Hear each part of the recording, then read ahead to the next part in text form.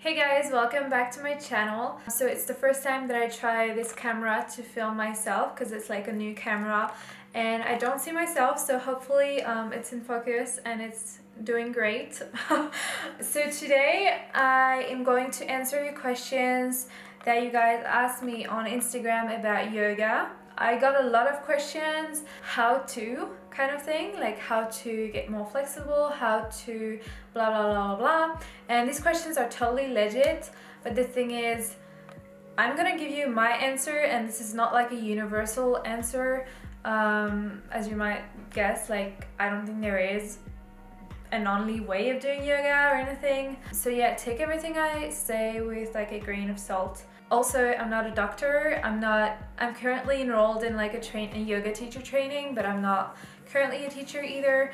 So yeah, just like, I just don't want you to do stuff because I say things and want to be hold responsible for like any injury that you might get. This video is starting really bad but yeah a lot of questions are similar so I might not answer your question maybe um, like I might not answer your message directly, but your question will be answered. Um, so the first question I got from my friend, I struggle doing yoga exercises because I'm not flexible enough. Is the best thing to first stretch? Just like train yourself to flexibility or just keep doing yoga? Okay, so the thing is, for me when I started yoga, I was already quite flexible. Like I'm not a super super flexible person but I'm not like a stiff person either. I've always always touched my feet like all my life. Um, so it's hard for me to answer this but I can definitely tell you that you can do yoga without being flexible because in fact a lot of people come to yoga because they're inflexible and then they get flexible. Every posture is good like it's just you're not going to be super super open in the posture but it's still your posture. And it's still the the point where you're at right now. So I think you should really embrace that. And every time you're going to practice you're going to see that you go a little bit further and further and further. That's how you get more flexible. So I definitely don't think that you need to first like do stretching. However I think you could do what I do too is like 10 minutes session of like stretching for a particular uh, muscle group. Like for example sometimes I do 10 minutes um, stretching for the split and then I do like over split and stuff like that. So yes um, that's not really yoga that's more like like stretching into a pose or yeah.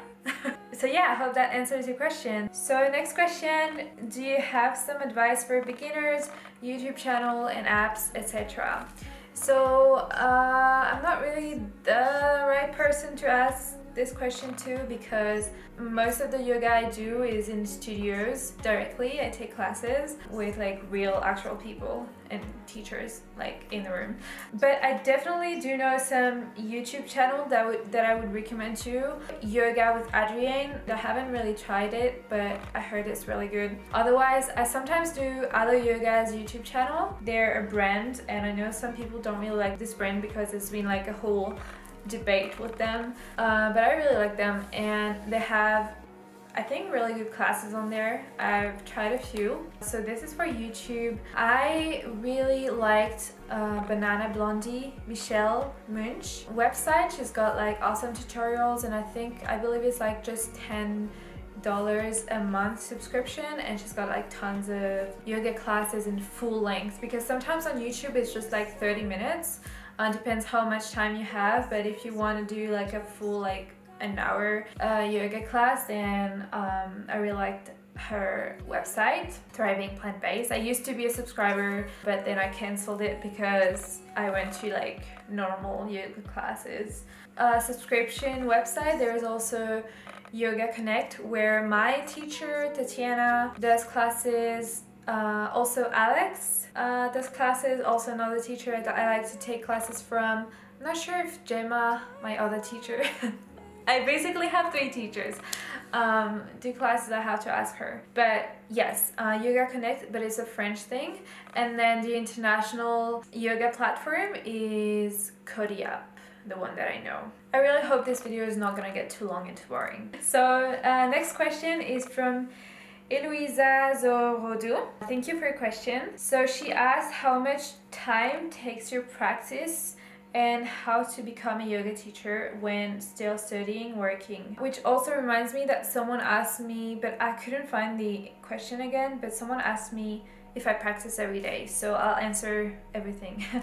Um, how much time takes my practice? When i go to a class it's an hour 15 and i go to classes about three times a week sometimes two, sometimes four, but that's like when it's a really good week. Yeah, it doesn't happen really often. And also classes are really expensive, so let's be honest, I can't. and then I just do almost every day I do at least 10 minutes of yoga. Yeah, yeah, almost every day. I do have some days where I don't do it, like I'm not like haven't done my yoga practice today. um, but the thing is, when I'm at home, I just do like 10 to 15 minutes and sometimes it's like two hours of like flowing at night with music and candles and like in the whole space. I just like to do it when I can fit it. And so yeah, that also answers the fact that if I practice every day or not. However, I do practice the yoga lifestyle every day, like being compassionate by actually being vegan, for example, and just being true to myself, uh, listening to my emotions, meditation. It's actually also part of yoga. So if you mean the practice, like the asana practice, the posture, uh, maybe not every day, but yoga definitely every day. For the question about um, how to become a yoga teacher, you have different options. You can do like an intensive training for like a month, I believe. The most like common ones are in Asia. I have chosen to do mine in Paris where I live and mine is not like an intensive one. It's uh, around five months and basically the training happens one weekend per month and then every week we need to practice three times at least. I chose this because first of all it was with my favorite teachers and like the only teachers I've ever experienced yoga with but yeah I wanted to take their training and the second reason is I wanted to pursue like my blog and everything and I couldn't just see myself going somewhere for 30 days and uh, not doing like my blog and stuff and then go back and then be like okay so now what? So I believe for me it worked way more this way. And also I feel like I can integrate a lot more. Clara Himmel asked me how do I improve the only way you're gonna improve is to practice. That's the only answer I can give you and I know like it's kind of like a stupid, not a stupid answer, but it's just like a simple answer. Um, yeah, the only way you can improve in anything in life, not just yoga, but like everything in life, is to practice. So get practicing.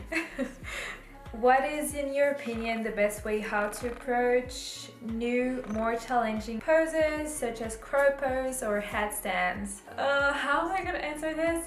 Honestly, the best way for me is to remember what you would do when you were a kid. Fearless and not afraid to fall and yeah, I must I must learn this advice for myself for headstand. But basically that's how I would approach more challenging postures um, changing your mindset and thinking that if you fall, it's totally okay. You can just laugh it out, just be safe.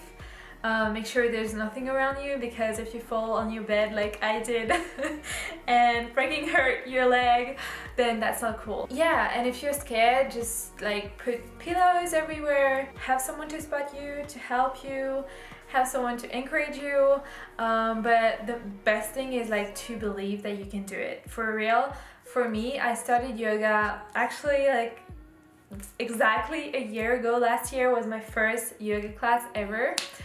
Uh, I had no idea how to start. I just skimmed through Instagram, saw some pretty pictures and I was like, oh, I want to do that pose. That looks awesome. okay, don't do this because is really bad, but that's how I did it. I would go in the pose without like any warm up. I would just like, oh, that looks awesome. I want to do it. So I'll do it. My mindset was like, Ali, you can do it.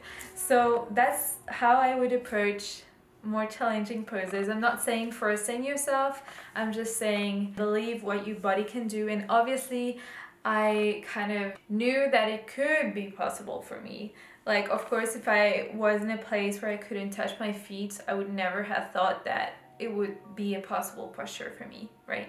So, yeah, I hope that answers your question. Burnt orange trees, hello. Ask me, I have bad wrist. Are there any different poses I should be doing? Good question because we actually learned this in my training. what you can do if you're like in a plank, allow a little bit of angle so that the shoulders are not directly stacked over the wrist. That's what we learned.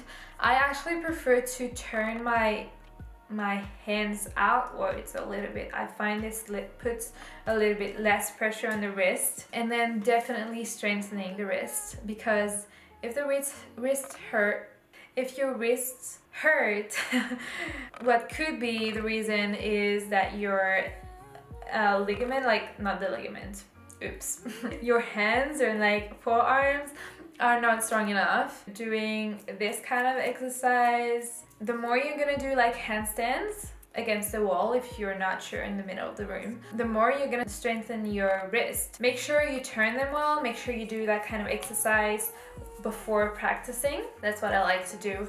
And also like flip them like that. Just warm up the wrist. Yeah, that can be really hard um, for your practice. I have one more question and then I'm gonna wrap it up. So I posted a story and she asked me, how did you only started yoga a year ago? One of my goal is to get to a level like yours, but how to do it? Where to where do I start? So um, thank you. Thank you for seeing this in me.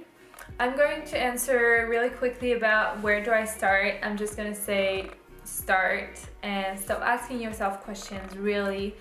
I know that yoga classes are really expensive and if you cannot afford them, try to do at least classes on YouTube um, because it's really hard to start on your own without any classes I think. Or invest in a little bit of money per month and do like a Thriving Plant-Based subscription or um, other website subscriptions.